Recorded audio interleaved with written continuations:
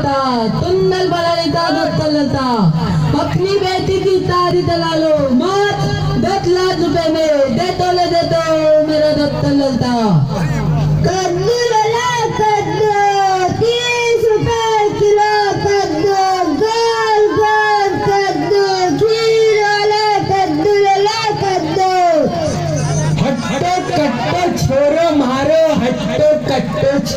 अरे हट्टो कट्टो छोरो मारो हट्टो कट्टो छोरो।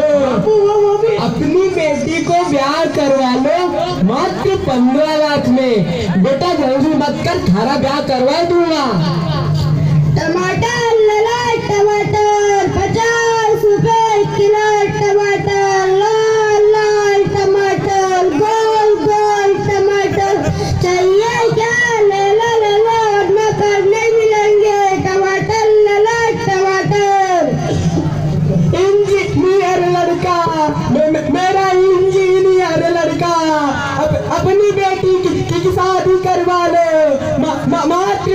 में। लाल लाल लाल गालो वाला हे, हे, हम सब इंजीनियर लड़का। नमस्कार भाई साहब। नमस्कार। क्या? आप ही रमेश भाई तोतला है? ए इज़्ज़त तो नाम ले बेटा समझा तो। ए मेरे पिताजी तो तोतला नहीं थे ना गुप्ता आता था मेरे तो। भाई साहब मैंने तो अखबार के विज्ञापन में यही नाम पढ़ा था। ये बेटा तूने बताया था ना अरे नहीं मैंने नहीं लिखा लुत्ता लुत्ता भी उनको समझाते आता हूँ मैं अरे कल लेंदे उन तो बाद में देते थे ये बताओ इधर देता आना हुआ क्या बताओ भाई साहब मैंने अखबार के विवाहिक विज्ञापन में पढ़ा था कि आपको आपकी बेटे के लिए लड़की की आवश्यकता है हाँ हाँ सही पकड़े हैं हाँ तो देखिए मेरी लड़की का फ़ोटो सुंदर सुशील सिलाई कढ़ाई बुनाई सभी काम में निपुण है अरे भाई, ये तब बातें दोनों ये बताओ, दहेज में कितना दो दे? भाई साहब, दहेज तो जो आप बताए, दे तो भाई। साफ़ साफ़ देता हूँ। मैंने अपने बेटा की दो की पलाई में कितने रुपए कर दे दिया बेटा? दस लाख। हाँ दस लाख सही है मेरे, दस लाख। अरे भाई साहब, मैं तो यहाँ लड़की का रिश्ता लेके आए हो आपको दस लाख देना देने थोड़ी ना? ये बेटा तम्बाक तो। अल्लाह, दस लाख नहीं, पैसा पैसा पैसा। हाँ तो तमद आधे में चल दो। हाँ समझ गया, भाई साहब, समझ गया। तो क्या कर भाई साहब, मेरे सारा जीवन ईमानदारी की कमाई करके बेटी की शादी के लिए मात्र पाँच लाख रुपए जमा किए हैं। आप थोड़ा एडजस्ट कीजिए ना। कोई एक देख एक नहीं। तुम्हें अपनी बेटी की शादी करना हो तो चलो। वरना अपना और मेरा तबियत बर्बाद ना करो। चलो चलो आगे बढ़ो करने कहाँ पहुँचा? जाते उठाते। नमस्कार दुद्दू भैया। घड़ी खम्मा। तन्ने मालूम मर्रे बापू का नाम गिद्दू सेठ है। इनके नाम से पूरा गाँव का फते हाँ दुद्दू भैया, सुना तो है। मैंने अखबार के विवाहिक विज्ञापन में। आपकी बेटी के बारे में भी सुना था कि आपको, आपके बेटे के लिए लड़की की आवश्यकता है? तुमने बिल्कुल सही पढ़ गए। तो देखिए दुद्दू भैया, यह मेरी लड़की का फ़ोटो। सुंदर, सुशील, सिलाई, कढ़ाई, बुनाई, सभी काम में निपुण है। छोरी तो गाड़ी चोखा लागे, माधुरी दीक्षित को भी फेल कर दिया अरे छोरा, छोरी कैसी है? बापू।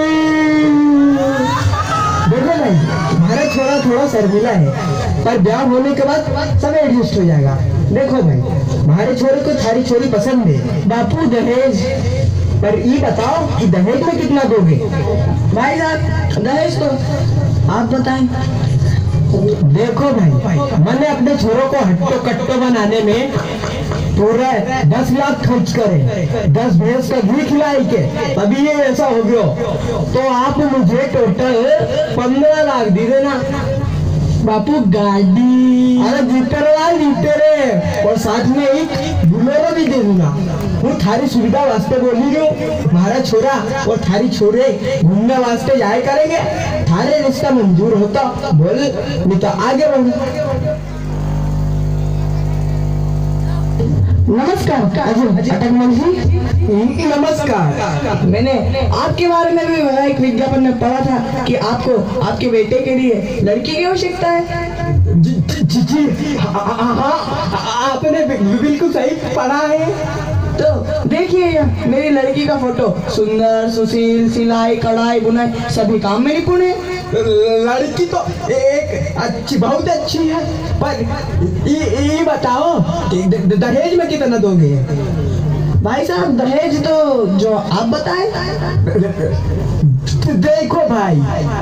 मैंने अपन, अपने अपने लड़के को इंजीनियर बनाने में पूरे बीस लाख खर्च करे। तो आप मुझे पूरे बीस लाख दे देना बाकी शादी का खर्चा म- देख लूँगा। और साथ में एक प्लाट भी दे देना। जी भाई साहब। जी जी, धन्यवाद।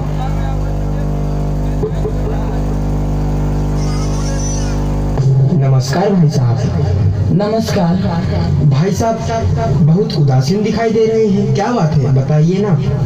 क्या बताऊँ भाई साहब? जिसकी लड़की बड़ी हो जाती है उसे उदासी खाने लगती है। ऐसी क्या बात है? जरा खुलकर बताओ।